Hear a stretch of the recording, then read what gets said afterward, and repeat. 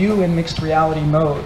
So it looks kind of like augmented reality is going to come to the tablet space shortly. Sorry for the video quirkiness that we've got going tonight. Um, E2, are you nearby? Me too. So uh, I, I, think I remember what's el what else is on my slide here. So the mixed reality view is being shown as showing holograms off of a tablet and pointing and mixing it in with the camera off the back of the tablet. So I think we'll start to see the platform not only involve HoloLens, our, our uh, immersive devices, but also the tablets and some of the other space. So it's, it's really cool how the story is starting to roll out. Um, along with that event, Microsoft Build um, announced that there are some new hand controllers coming with the new immersive headsets. So they started to show those off. At the Vision Summit, which was a Unity conference, um, they announced that all of the attendees there would receive one of the Acer immersive HMDs. So I, I was really glad to hear that. Wasn't so excited at Build when we didn't hear the same kind of announcements there. That was kind of unfortunate, but I, who am I to judge?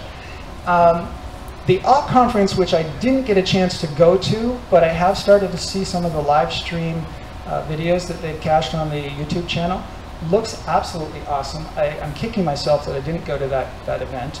I know some of you folks had a chance to go there. I really encourage everyone that didn't get a chance to go to any of those three events to check out the video streams. There are hundreds of hours of amazing content from all three venues um, posted either on their YouTube channels or in the case of Build on the Channel 9 uh, stash for all of the Build conference information. So do check that information out. Um, my memory's not as good as I thought. The immersive headsets, we started to, uh, I, I, personally had some experience, as some of the members did, uh, with the um, Acer headset in the Holo Academy sessions. And it was really great to get some hands-on. It is a very light headset. Uh, it performs really well. Um, I was a little disappointed, to be honest, that it doesn't, it, it has um, inside-out tracking, but it doesn't bring the camera information in and it does not have the spatial awareness that our HoloLens devices have. So maybe we'll see some other partners start to bring devices to the platform in that space, similar to um, the Project uh, Alloy concepts and stuff that we've heard about. Uh, but the device for 299 or 399 with the controllers uh, is pretty cool. Um, both the Acer and the HP are now available for pre-order. They're talking about coming to devs this summer. As a matter of fact, the, um, the Vision Summit, they told the attendees there that we would be receiving them in July.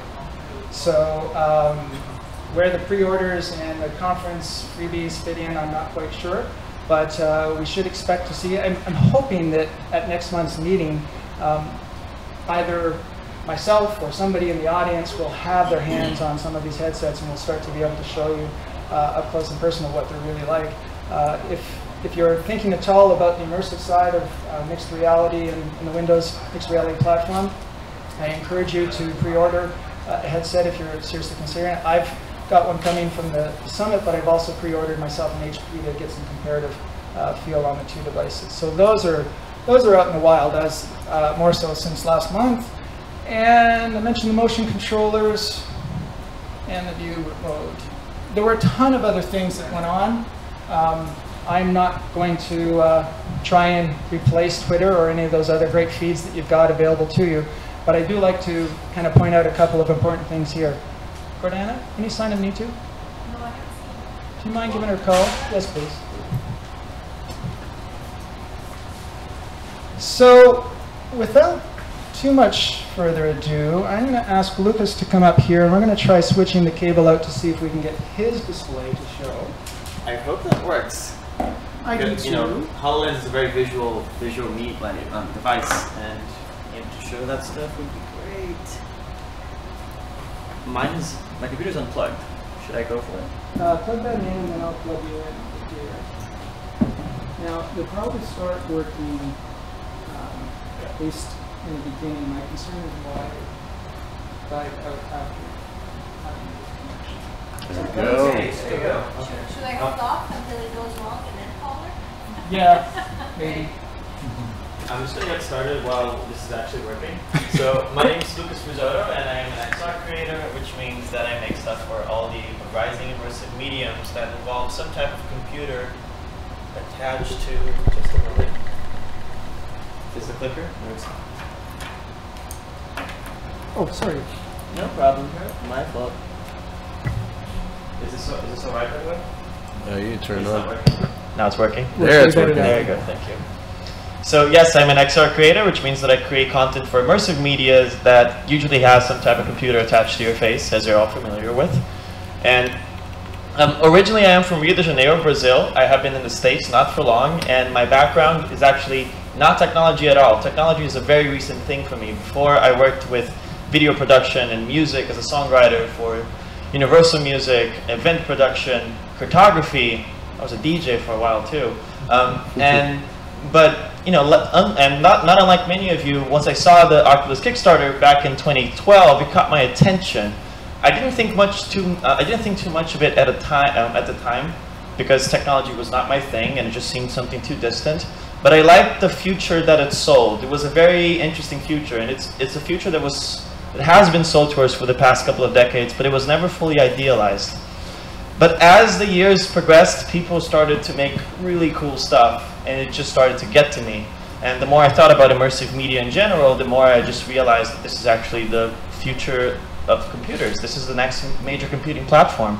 And I had to make the decision between passively watching all, all this stuff happening from back home and actually making a jump for it. So with two weeks of planning, I just impulsively moved to New York City. It was very irresponsible of me. But um, I decided to start to teach myself coding, and I got enrolled in a computer science degree, which I'm finishing this year. And um, I got to find myself into an internship in a VR studio in LA, and I was super excited about it. I was like, now I get to learn from the people, you know, who are building the future. I get to actually learn how they're building all of these cool things. And one of the first things that I learned is that no one knows what they're doing. Be it in virtual reality, augmented reality, um, X reality, and MR. Um, this is this is a time of the industry where there's no, you know, as you know, there's no design principles. There's no reference of of um, really what is a great experience, and there's there's all these types of experiences that don't even exist yet, and that got me hugely excited, especially being somebody that has some issues with imposter syndrome. You can't be an imposter if everyone's clueless, and there's um, it got me excited about the time of the industry and that really there's there's no way to be wrong. There's just like um, right now everything's experimental and it's all about learning. Um, and around that time is actually when I got my first contact with the Hololens, and the experience was Fragments. And I was just uh, I was just utterly amazed at seeing my um, current environment be completely transformed into this other world, and how it changed how I moved around my own space, and even small things, just like seeing the little mouse move throughout your floor, just made me rethink all my priorities. And I went from from a VR mindset to a mixed reality mindset um, almost immediately. So I saved some money for a couple of months. Oh, I spent a couple months building some VR experiences and a bunch of hackathons. I go to those compulsively. Less so now because it's it's unhealthy to just like live off Doritos and Red Bull for um, long periods of time. and eventually, I made the also very irresponsible decision of buying a Hololens myself um, at the end of last year. And I was hoping that the pressure of owning a $3,000 device would kick in and I would just like decide to make things for it. Uh, So I'm a very guilt-ridden individual, so I try to play that to my advantage. And I decided to start experimenting. So I went to a place called the Stupid Hackathon in New York City, which is designed for creating useless and stupid projects. And I just made a completely useless game called A Thousand Michael Scotts using the HoloLens. You're surrounded by a bunch of Michael Scott heads, and they're screaming at you. And you can either, blow them up by using the gaze and the air tap, or you can actually scream at them back. So if you look at each one of these heads and you scream, the HoloLens picks up the, the, the input stream of the microphone and causes an explosion. So not world changing in any way, but it was a fun experiment and it just got me thinking about the platform. So after that, I wanted to make something real, and my main focus was not really to, to create something world changing. My main focus was just to make something that was finished. So I thought about education, and um, I've been thinking about doing something with chemistry for, for a long while, and I I decided to create just a holographic periodic table, and this is you know this was built um, over over two days in my messy room, and it was the first version of what was going to become my lab later, and it was very simple. Um, this is actually when I when I first learned that the HoloLens has its own way of dealing with things. My intention was to make something a little more futuristic looking with like out, like white outlines and white text, but I learned like just just with this little experience alone that the HoloLens does not like thin lines, and it, it that white is actually the, one of the most expensive colors to render. So I like this enough to um, to the point that I wanted to continue with the project, but these little things that you get to learn on a day-to-day basis about the HoloLens, on how it deals with color and how it deals, um, and how interactions look and how gaze actually works in practice, um, are things that I, I kept learning on a, on a, daily basis. So a couple of weeks later, um, this is this is the end result of, of the, um, the project. It's basically, it's a holographic periodic table that you can spawn anywhere, um, anywhere. It has a nice little curvature. And um, you can basically look at any of the ele um, elements in the periodic table. You can drag them around your environment. Um, it's all of the atom structures are procedurally generated through code. And you can also combine some of these atoms together to make molecules in real time. And one of the reasons why I, I, enjoyed making this is that because um, I, I, I, was never a fan of chemistry in high school. And I don't think it's because um, chemistry is boring, but it's because it's badly taught um, in many ways. Um, this, was, this was my attempt to create something that I had, um, that I struggled with in the past that felt highly abstract into something more visual and more um, interactive and, and also a little more fun. But, you know, I finished the project, I pushed, uh, I put it up on the store, which is like I it's it was it was my original goal. I did something all the way, but there's only a um, there's only a number of Hololens devices out there, and I wanted to make sure that the world would see that I'm building these types of experiences, and that um, and that you know outlets could pick this up. So I used some of my video production experience from the past to make a release video, and this is something that I would recommend that um, all of you do. This is just a minute long. But, ooh, just a second. Basically introducing, hi, my name is Lucas Rizzotto, and I created MyLab, a mixed reality chemistry app designed to help students learn chemistry. MyLab allows you to bring in an interactive periodic table anywhere in your vicinity. You can spawn atoms, you can drag them around your environment, you can study their structure. And you can also combine them together to make molecules. Mixed reality allows us to redesign education in a way that was never possible before. Education today, for the most part, is passive. MyLab lets you see the effects of chemistry in real time. It turns education into more of a sandbox experience. MyLab is a so it's basically a small video ad, and um, it's it's it's it's it's something simple. It's something that I, that I did over a day, but I cannot understate how important this is.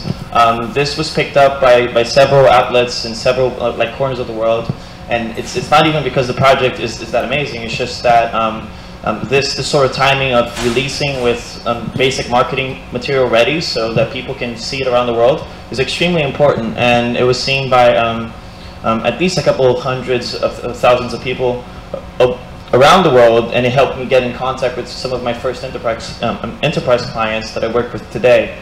So.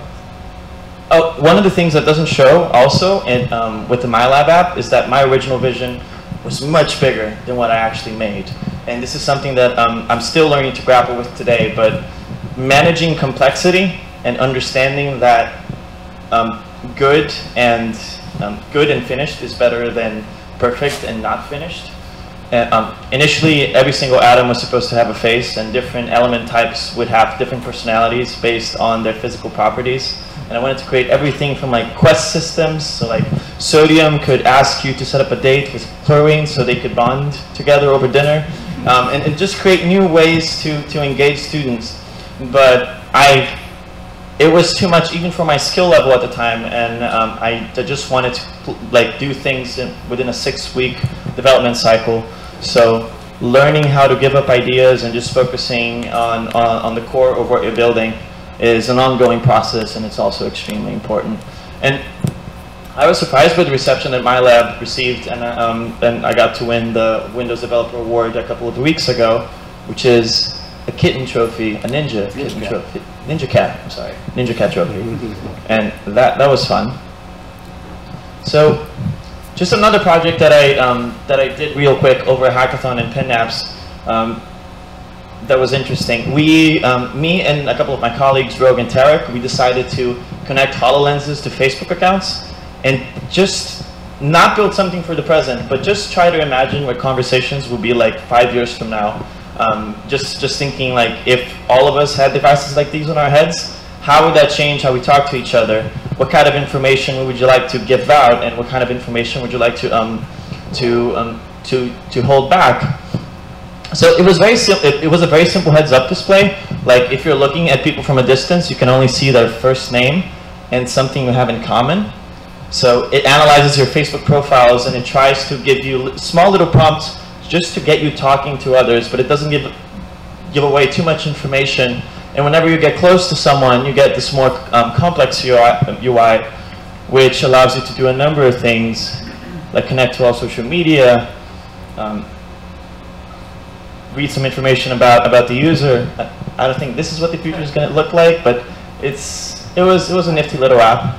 Uh, we also had a Tinder-like feature that if two users that if two users in the same room like each other from a distance, hard particles literally start to you know fly out of your fa- uh, out of your head. So there's no way um, you you won't notice that. And um, I think displaying information in this in this way is actually um, less Black Mirror-ish and more fun. And I think this is the way that um, things should be going forward. One of the main things also that I don't have footage of, but that I loved about this app is that whenever you started to record video as a user, your head would get replaced by a camera. And this is something that we um, we uh, like we worry about when it comes to mixed reality and augmented reality in the future is that you know how do I know people are filming them? So our solution was just like, oh, just put a huge camera on their heads, and it, it works. And when it comes to transparency, and you know this, um, we built the project over the hackathon, but the, the networking code just like burst into flames in the final hours, and we failed miserably at the hackathon. But the project, it really gave us the opportunity to start finding answers to design questions that are not even being asked yet. And it got us to think about the future in a way that we couldn't do otherwise. So these, these types of small experimental projects, um, projects I think give you an insight uh, um, on the future that you can't have in any other way. So it's something that I um, try to do whenever I have time and I always learn something new from them. So after that hackathon, I decided to to do stuff that's a little more commercial. I, I, I created over a weekend like this little e-commerce shop that just like it's, it scans your room and then it brings a physical store um, in your environment based on, on the dimensions of your room. Um, very, very prototypey stuff. It's um, very simple. It kind of worked, but I was extremely, extremely un uninspired by this. Um, mostly because I, I started to feel that if I don't make this, if I don't, don't start to explore, you know, mixed reality and e-commerce, there's thousands of people that will.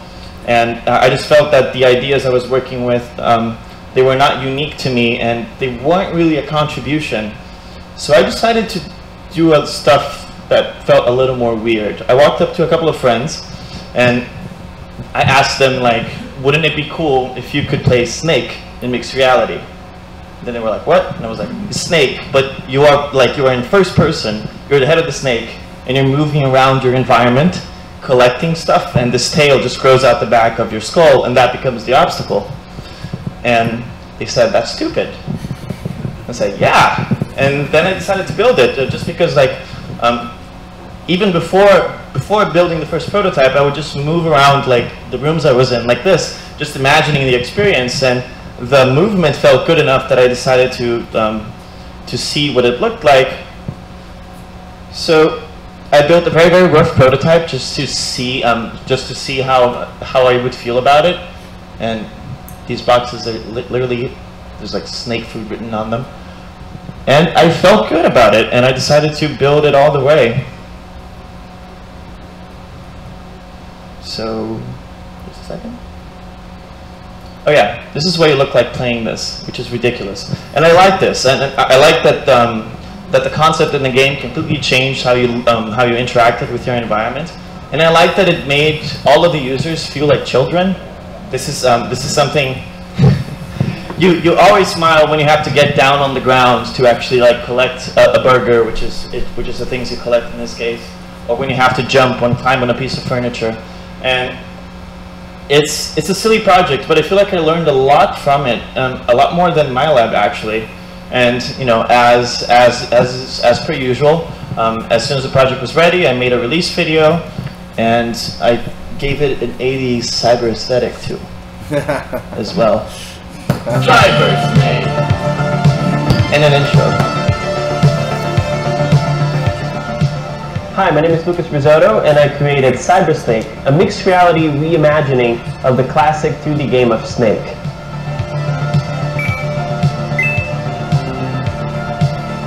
So in Cybersnake, you play in first person as an actual snake, and your mission is to move around your environment and collect these cyber burgers scattered around your surroundings. And as you do so, this tail starts to grow out the back of your skull and follows you around, making the game progressively harder to play. Cyber Snake also has some power-ups and gameplay twists of its own. One of them is called the Eye Stream, and after collecting an Eye Stream, you can basically look anywhere in your environment and say the words to summon what I call a motivational vortex. And what this vortex does is that it sucks in all of the burgers in the surrounding area and it causes this huge explosion, which not only gives you a nice points boost, but you can also use these explosions strategically to blow up parts of your tail.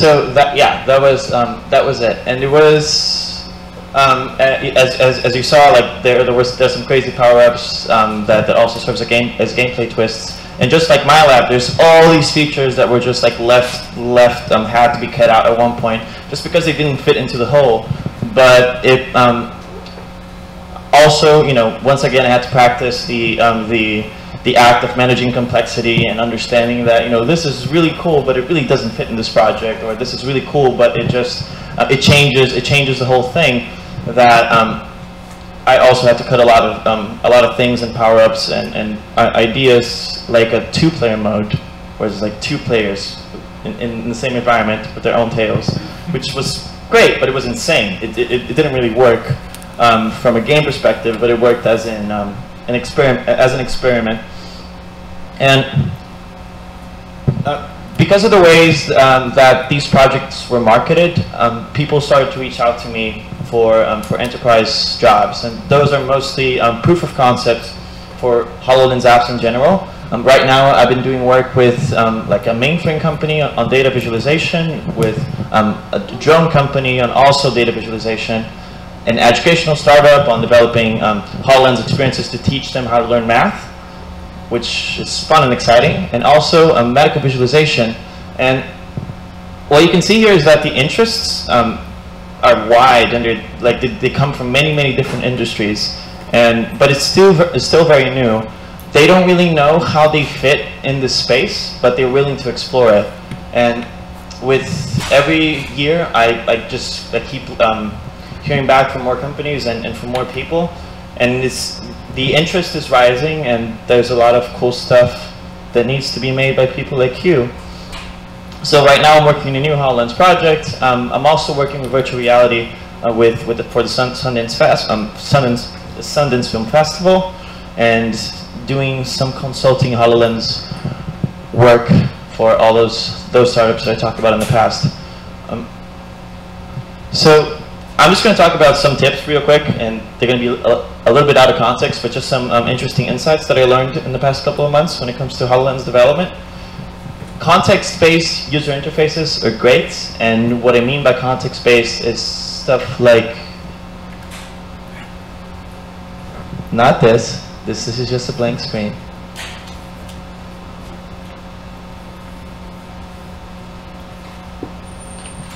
Well, I guess I'm just going to have to explain it. So, um, I'm just going to skip this for now, actually. I'm going to come back to it later. But managing complexity, as I, as, as I talked to you about, making sure that you know good and, fin and finished is better than perfect and unfinished. Just making sure that the projects that you're building, um, they, they are small and focused enough so that you can actually finish them all the way and you can create an experience that's concise. Um, I don't think this is a time to build huge platforms. I don't think this is a time to build huge projects. I learn a lot more from four-week experiments than I do in three-month ones. Um, and I, I would encourage everybody in the space to do lots of small projects because you get to learn a lot more about the medium, a lot more about design, like how to design, how to develop, than um, picking up really ambitious things that can last six months.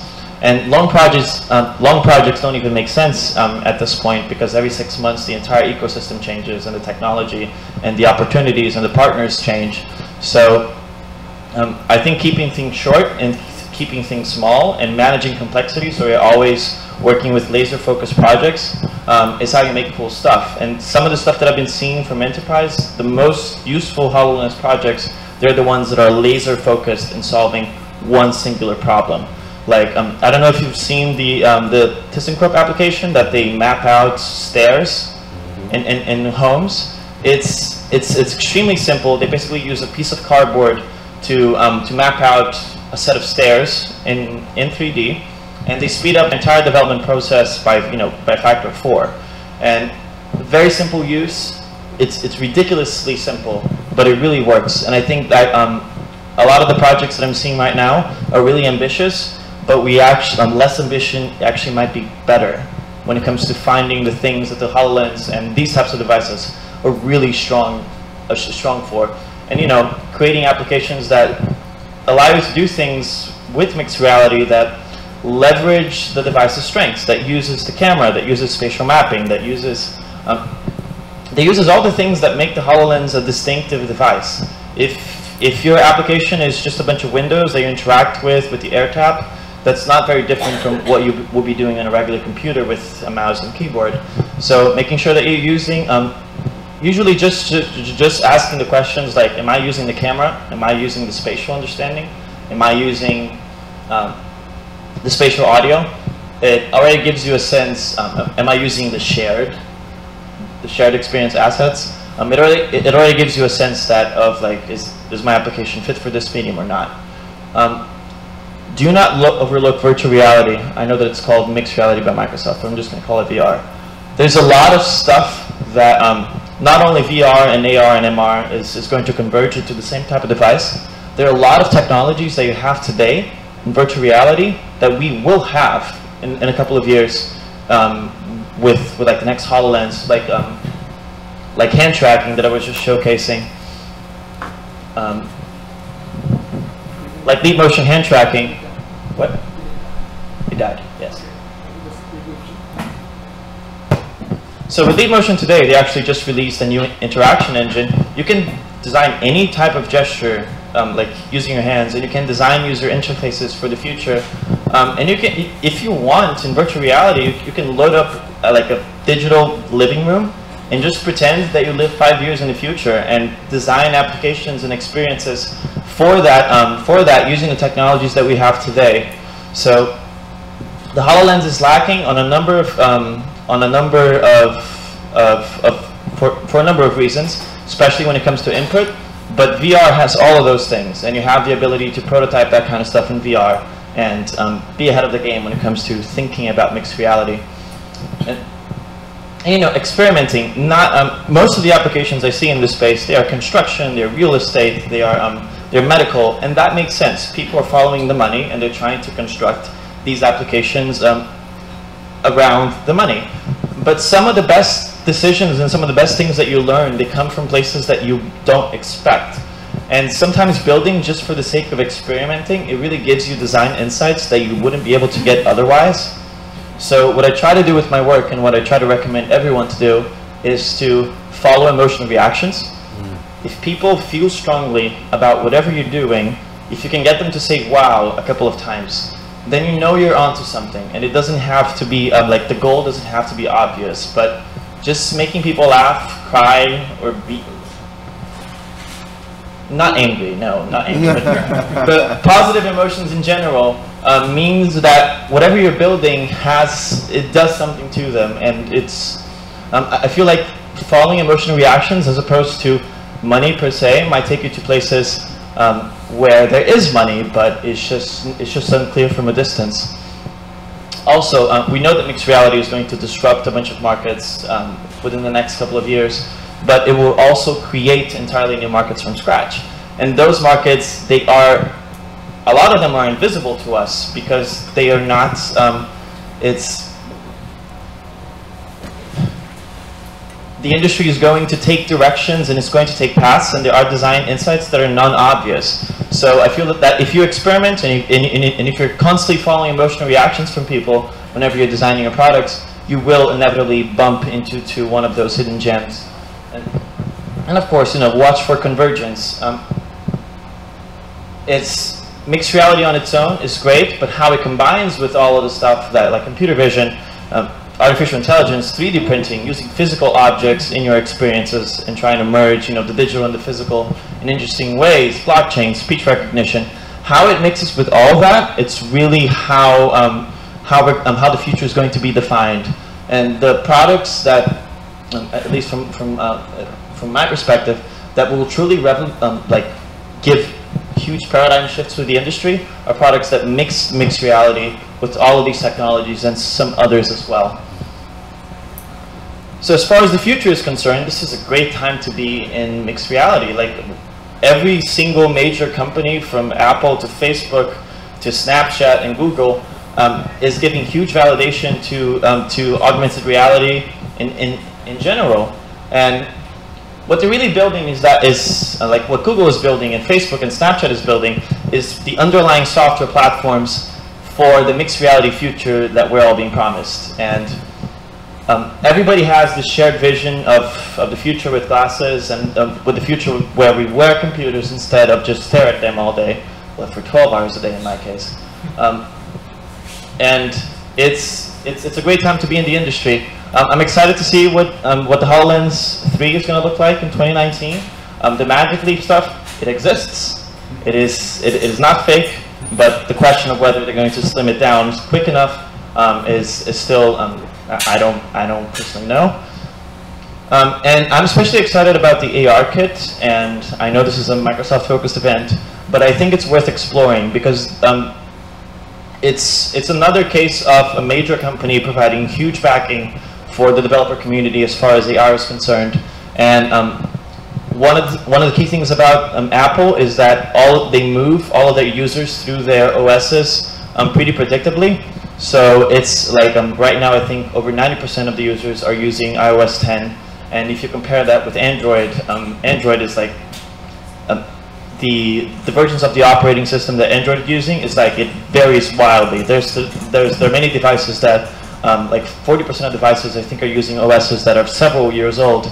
So this means um, the, the, fact that the ARKit is going to be integrated in iOS 11, it means that there's going to be a, a huge, a huge spike in interest this fall when it comes to augmented reality apps. And um, Apple is creating a standardized um, development platform for AR, which could give us a way not only to um, not only develop stuff for enterprise, which is what I'm having to do now, even though my, my ultimate focus is consumer, but it might allow developers to actually create AR apps for consumers and reach them directly with um, the support of, the, um, of companies like these. And I, I love Microsoft and I love what they're doing, but I really think that the world need, um, that the space needs more competition. So seeing all this stuff from Google and Snap and Facebook and um, and, and Magic Leap, it excites me, and it um, it's good to know that Microsoft is being actually being put under pressure by all of those upcoming visions of the future. And the, um, there was some really cool stuff at the at AWE as well. Is that AWE? Yep. Okay, correct. Uh, it, it really seems like the mixed reality future we were promised will happen. Um, the, the, there's a company called Ultra Ultra Haptics that's doing actual, you know, um, physical touch with ultrasound. That's in, actually incredibly convincing, and I'm excited to see if this is actually go going to be the go-to way in which we feel touch with holograms. Um, companies like, like, like Leap Motion continue to do like, really exciting work with hand tracking, and this is stuff, you know, it's, it might not seem like it's pertinent to mixed reality right now, but I'm expecting the next HoloLens to have full hand tracking, and you can already start playing with ideas and interactions today um, using the Leap Motion SDK. And um, Meta is behind the HoloLens in every single way, but they're doing some interesting things as well. They, uh, they, they showed a demo at the conference in which um, th their CEO would grab pictures out of their smartphones and just place around their environment. And I've heard of several people who are also working on similar things um, and trying to merge current technology with this up, um, with these up and coming um, devices. And there's a lot of opportunity here too. You know, not only on, on working on the Hololens as an isolated platform, but seeing how we can intermingle with technology that already exists and in what ways actually we can leverage the 2.5 billion smartphone devices that we have with these holographic um, platforms of the future. Just some food for thought and some things to think about. I actually kind of rushed through it because I was I was afraid that this thing would just like shut down on me. but I would love to hear some questions from you and to see if we can like start a conversation about um, the things that you like to talk about. So I- I'm going to jump in there and say that I've got a second mic here, and so that everybody, both here in the audience and those on the live stream can hear. Um, since we've got a small crowd, I'll hand around the mic. Hey, uh, great presentation.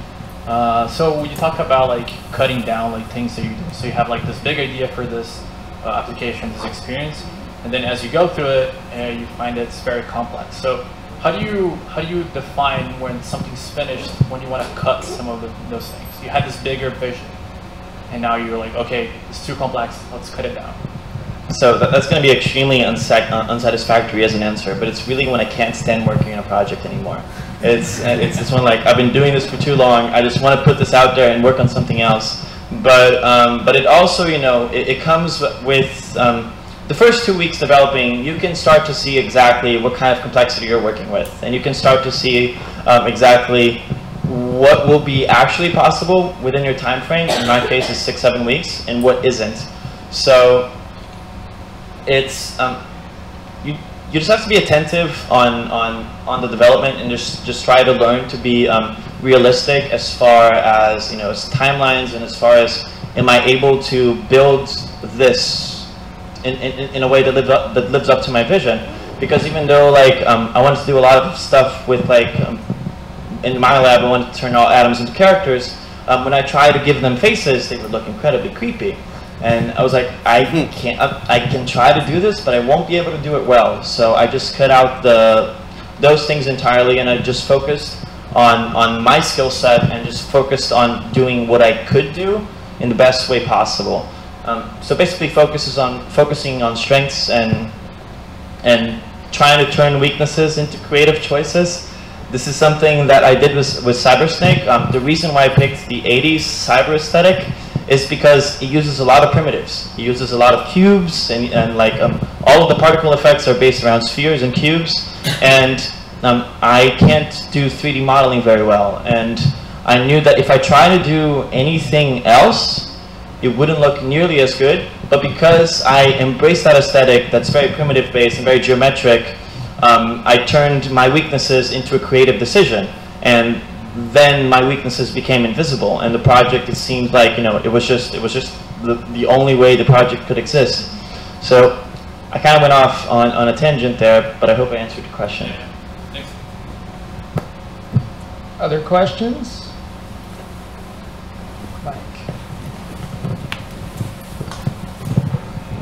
Thank you. Nice job, Lucas. So, um, so it sounds like you've been experimenting in VR. Like you really like all the technology that's available in like straight up VR. Do you now prefer to work in VR over MR because of all the different toolkits and all the different things that you've been exposed to?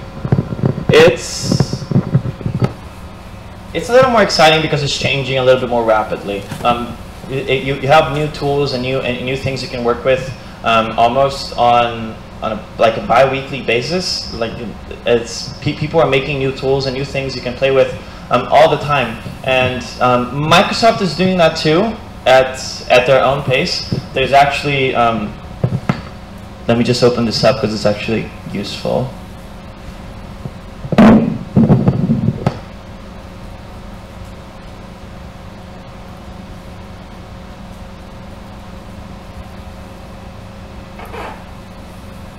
Is actually buried very deeply within the Microsoft, uh, within the HoloLens documentation, but there's something called the MR Design Labs, and it has a ton of tools for building UIs, like UI quickly um, with, with the HoloLens, and um, they have actually some, some very fun prefabs that allow you to organize, here's a periodic table that looks better than mine, um, that helps to organize objects like in curvature formats, and they, you know, they give you the, the adjustment tools that you see with holograms um, within the, the HoloLens shell.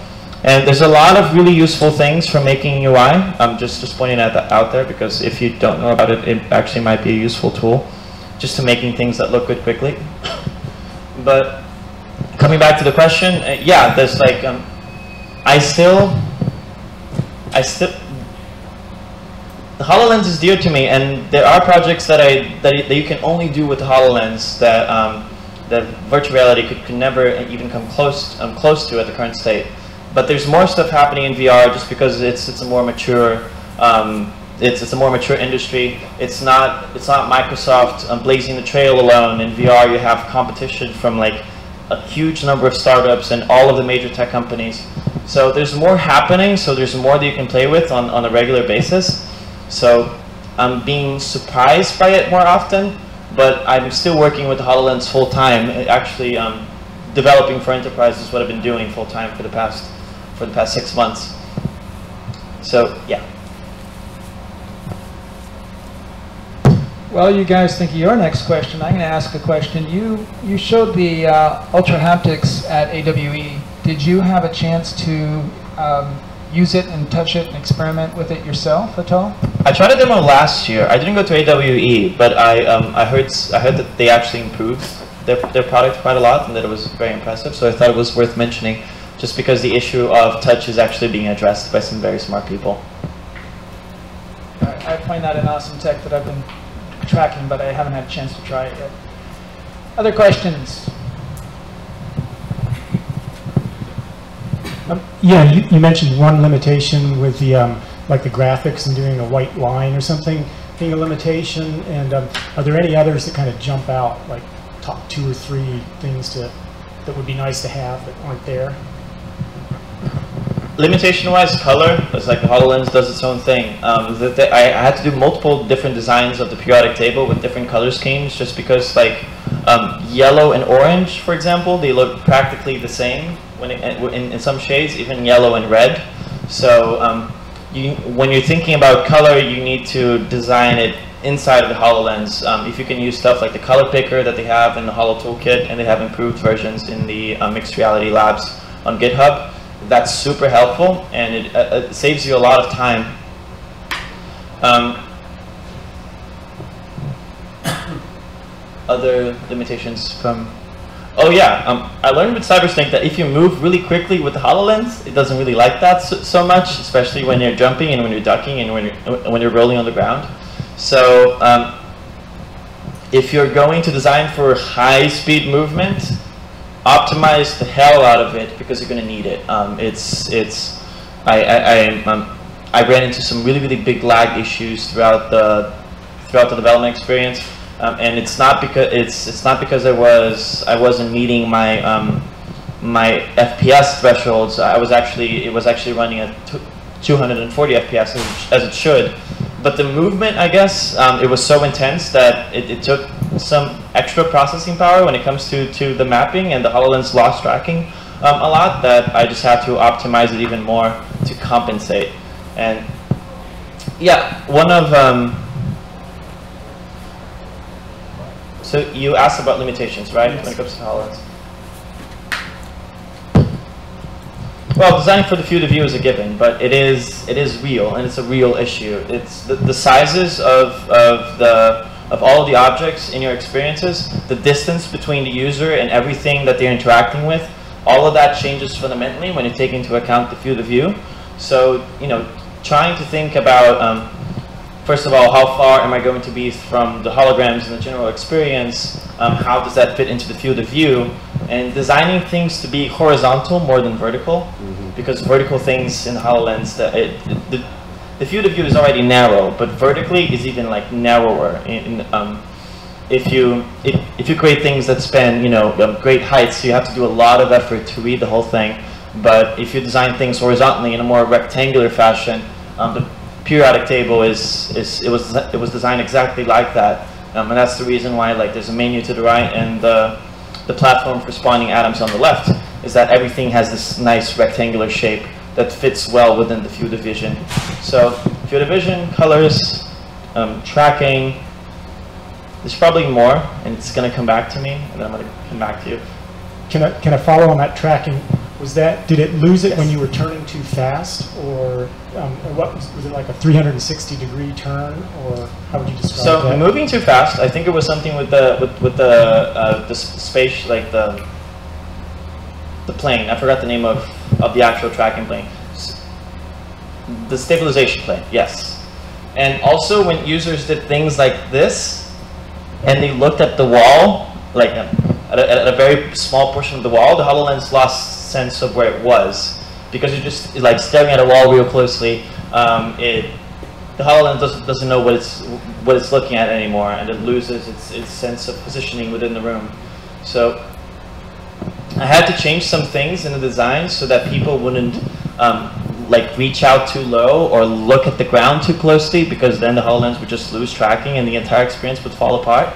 Um, those are very unique problems that I don't think you will go through unless you have some sort of like construction enterprise application that for some reason forces the users to do this.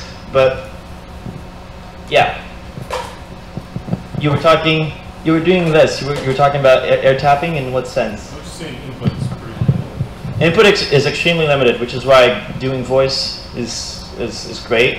Um, you don't have to teach people how to say things, but you have to teach them how to air tap. And teaching the air tap is actually much more challenging than um, than one would ever expect. Um, giving people clickers when you're showcasing experiences, great, great thing. It really speeds up um, speeds up the process, and people can get used to the clicker much faster than they get used to the air tap.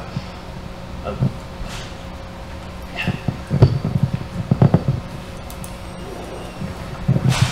can you give us an example that how you do data visualization for enterprise?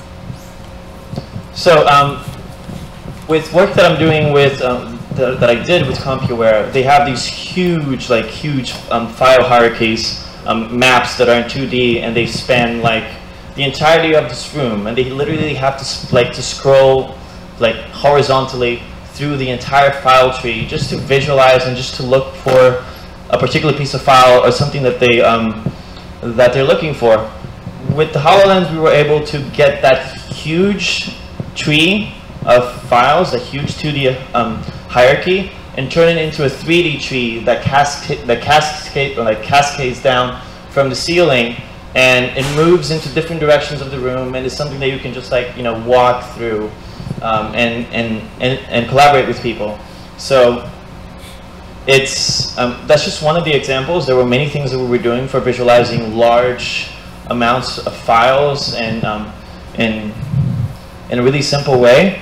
But I think this this was actually the most impressive use because all of a sudden we got something that was extremely uh, that was extremely complex and hard to read, and we turned into this nice hierarchy that, cascade, that cascade, cascades down in 3D. And we combined it with voice, uh, with voice as well, um, so people could do like searches on hierarchy in real time, and it would point them exactly like where the file was, and it was a shared experience, so multiple people can just like gather around certain clusters of the hierarchy and discuss them together um, and, and have access to details and all that kind of stuff.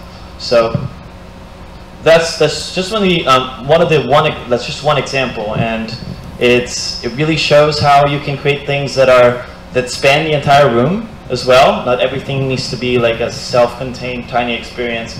You can use space, and you can use it in an interesting way, especially when you're trying to um, use a, uh, visualize a lot at the same time. Also, input-wise, just coming back to that real quick, don't underestimate gaze because it's extremely powerful. I wanted to talk about it um, when I was talking about context-based UI, but gaze basically implies intention. So if you have an app that's, um, that's particularly complex, you can, excuse me. Oh, wow. And certain actions are only attributed to certain holograms, you can you can create buttons and you can create um, you can create UI that, that flows with the user's gaze. So in this example, we have a hologram, like, and when it's not being gazed, it's just like sitting there idle. But whenever you look at it, you get all of the buttons surrounding it. And if you think about UI and this, um, and not this menu that's fixed at a, at a certain place, like it is with apps like, um, like, like Galaxy Explorer, for example, but something that flows in and out whenever it's needed, um, you can make things that are, for, that are far more um, intuitive and far more better looking. Um, I had I had gifs and videos of it for um, the, for my enterprise stuff, but I can't show it because of the live stream, so I'm sorry about that. But yeah, questions. Next question. Anyone? Oh, we can just chat too. That, that works.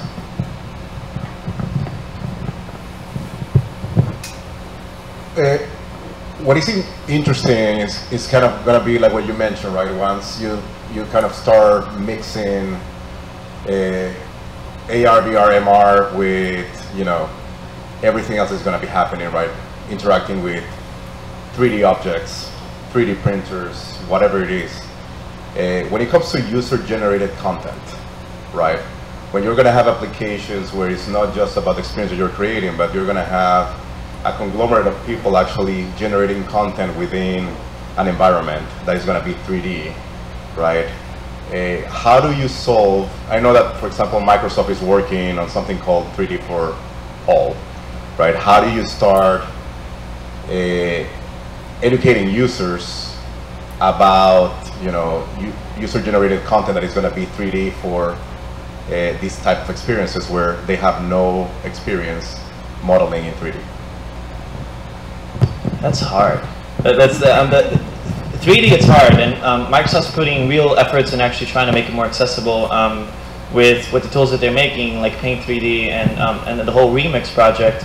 And I, I've been seeing a lot of cool stuff happening with um, AI-based 3D modeling. Like you, you, you, you basically tell it what it wanted to model, and it finds a way, um, using deep learning, of creating multiple variations of the same types of objects, and also um, using AI as a way to quickly stylize objects um, on the go. Like you give it a piece of painting, and it just finds like finds a way to make that object reminiscent of that piece of painting. Everything is very experimental, but I think um, having these very quick ways for the content to be generated automatically so it's not static because right now what we have, um, what we have and what Microsoft is doing is that they're creating these huge libraries of 3D objects, and we're hoping that they're going to be that there's going to be enough to get people started, and it will. But there will be a point in which people need to be able to customize things quickly without any effort. And I've been seeing a lot of cool stuff in artificial intelligence with 3D modeling and texturing and coloring that might show a, a, strange convergence there where you can create 3D content really quickly by almost just asking for it.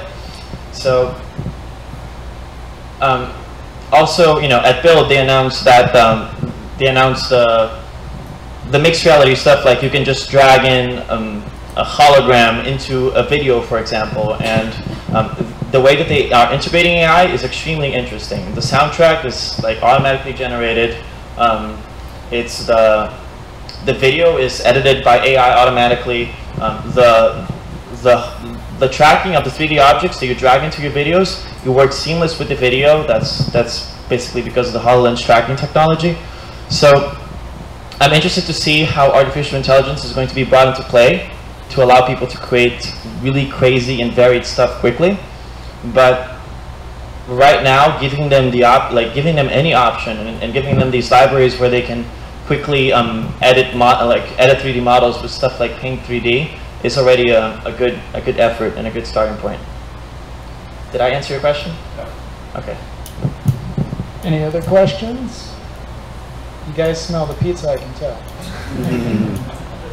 All right. Well, thank you very much. I really appreciate that, Lucas. Can we have a round of applause?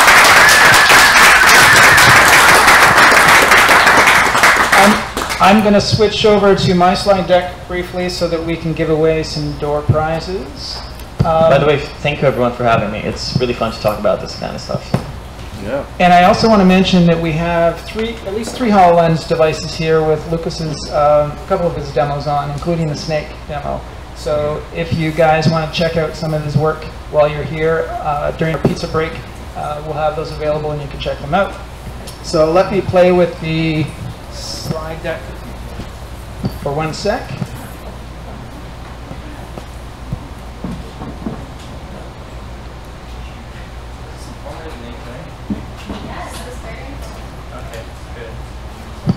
I'm hoping that I'll get this live long enough.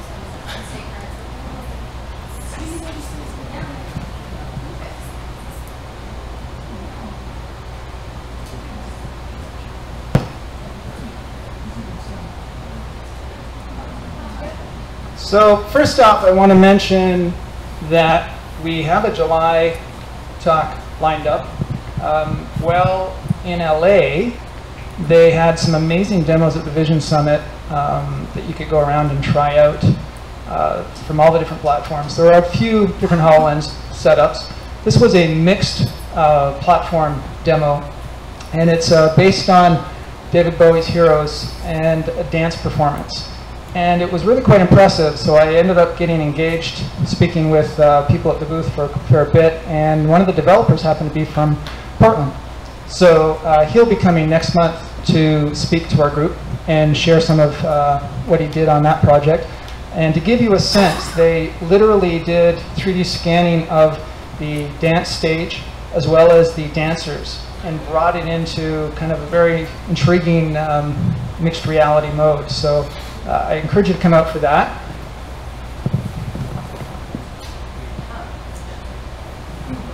I, of course, want to always recognize our sponsors because they help us make this happen and make it interesting. So we have Unity, Microsoft backing us up, the HoloLens team. Um, the creative group, we're really uh, appreciative of being fed at our meetings, so that's great. Orange Studios provides this space to us uh, each month. Um, they also usually have cards available to uh, have a free try for an afternoon to use this space either for to get away from the office or to uh, bring your office in here for a short period of time. We have a number of folks, and I don't think Lucas knew that uh, Leap Motion was one of our sponsors, uh, as he gave a plug during his talk, but Leap is also one of our, uh, our sponsors that helps uh, us give away some interesting stuff at the end of each meeting. So with that, no further ado, um, we're going to get into the door prize mode. I did skip one slide. I should probably mention. Um, we do have a members only page that if you're not aware of, I keep pounding each month to let you guys know about it. There are some discounts available from our sponsors that um, are available only to the members if you hit that page. So if you're if you signed on as a member on our site, uh, you can get access to this page. And every, well, most most every significant publisher, there's a book title out there, you can get a pretty decent discount off of it because uh, they provide some pretty aggressive uh, discounts. And O'Reilly uh, also mentioned um, has given us a special discount code, and this one is public. I tweeted it out uh, to get you a discount on the San Francisco conference if you're interested in artificial reality, which more and more is being mentioned as a key component in some of the mixed reality experiences you're going to be building in the future. So if you happen to have access in September to San Francisco and a budget to go do so, I encourage you to check out that conference as well. So, door prizes tonight. Lucas will hopefully do me the favor of drawing the first uh, winning number. We're going to start with uh, the ebooks from Manning. And the last four digits of the winning number are Nine, uh, six, nine, eight, eight. 6988. Excellent. Come on up. So anybody who wins, we have a page up here that I need you to sign uh, your email and other information. This is an ebook prize. Manning provides us uh, each month a couple of ebooks to our members. They we, we, we put up a suggestion of Unity in Action as one of their titles that you'll find of interest. And um, you have the option, if you're a winner, to either get Unity in Action or any uh, of the Manning books out of their catalog. So they'll give you an e- ebook copy of that. Um, I'm going to ask the first winner, uh, huh? Can you draw? Yeah, no peeking. the next four digits. 7002. 702. 702 going once, going twice. Well, there we go. Good. Thank you. So those are the two ebooks, and then we're going to move on to a book from Pearson, which ties in nicely with uh, a few of the questions that were asked tonight. It's 3D User Interfaces, Theory and Practice, second edition. This is hot off the presses and very much targeted towards our industry. So this is a cool book that I got in and I thought, well, I wouldn't mind a copy of this, but unfortunately I can't win it. So we're going to ask our last winner.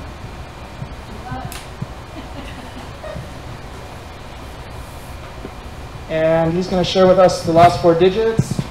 7001. 7001.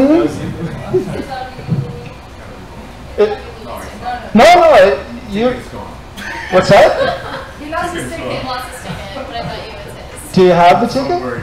Because I I mean, this was your one of your questions, right? Please check your pocket. Do you have it? He's checked his pocket. Yeah. Did, did, well, I'll trust you. If nobody else has the number, then I didn't see too many people walk out. There we go. Please come on up. Sign up your name. It's not fixed. We know that. So we'll get you to give your information over there and draw the next number for a winner. And I'm going to hold it high just so there's no. Exactly. I'm sure this is my The four digits? 6999. 6999. Excellent. Okay, so that one is yours. This one, so that people know, the book from Wiley was Mastering Autodesk, uh, Ma- Autodesk Maya 2016, so also 3D creation related.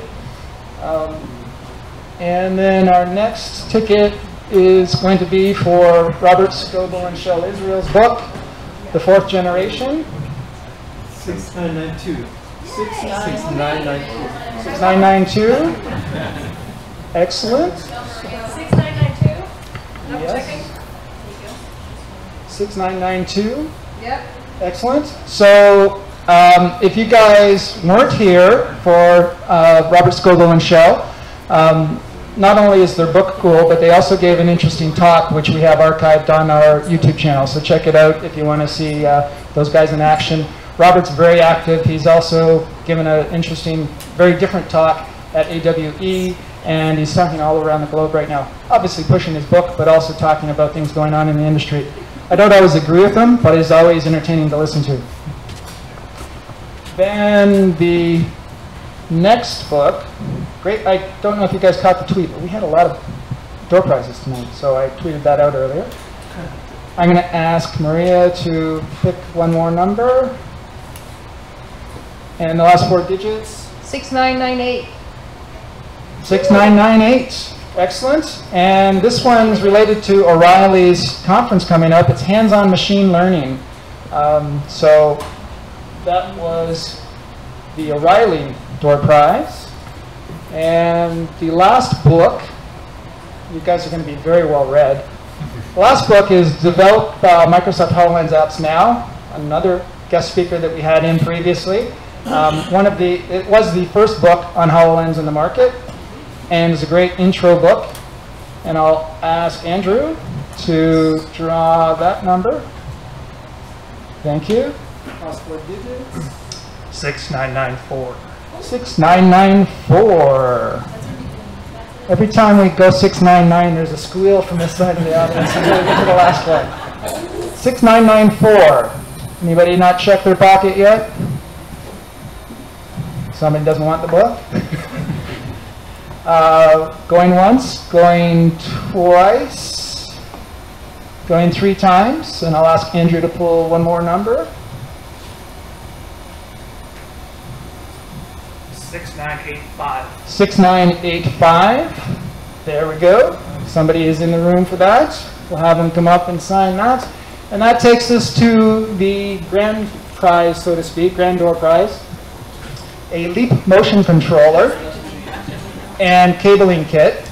Now, obviously it's not going to directly connect to a HoloLens, but there are all kinds of creative configurations that you'd be able to connect this to a PC and wirelessly transmit information back and forth to your HoloLens. Also, we now have immersive devices coming to this platform shortly, and there's no reason why you couldn't take and tape and glue this, or mount this with the kit onto your um, immersive headset and start using that. Just make sure you don't cover up any of the sensors for the inside-out tracking. So Leap has been great about giving us devices uh, to hand out each month, and they're very, very active in the VR space, so you'll probably see them coming out on um, some OEM devices in the near future. Thank you, Matthew. Four digits? 6994. 6994. That, that number's already called. How could we? well, he's coming up now. 6994, have you got that? Well, it wasn't called, so, or you would have come up, right? Right. So come on up. It might have been close to it. So we did have, we had a lot of 69. We had 6998 and 6992 for those keeping track at home. But uh, Ross, thank you. Uh, I'll get you to sign up for that. Um, that's our door prizes for this month. We have a whole bunch of pizza. Um, there are also um, soft drinks and stuff available. You're welcome and free to tap into any of the orange soda. Uh, well, I don't mean orange, Orange soda. The Orange Studios soda at the back. Uh, and mingle around. We'll also have HoloLens demos available for anybody who's interested, either first time or you just want to see one of these apps. Come check us out. Thanks, folks.